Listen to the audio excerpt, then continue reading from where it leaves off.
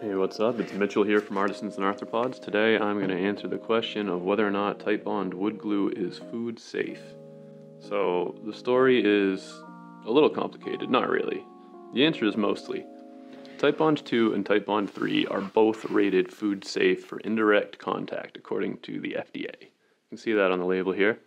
Definitely look for that. Never make the assumption that your wood glue is food safe for indirect contact unless you see this on the actual bottle. So Titebond 1, the one that comes in the red bottle, is not does not share the same status. So be mindful of that. Um, other wood glues don't tend to make this claim. Titebond 2 and Titebond 3 are the only uh, that are super common that I know of that make this claim. Let me know if you know of some other food safe wood glues out there.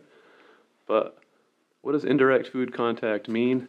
Basically, you are all set if we're talking about something like cutting boards or charcuterie boards where the glue is in between the pieces of wood here holding them together. That is considered indirect food contact and you are good to go. So stick to Titebond 2, Titebond 3 and you are going to be all set as far as food safety goes.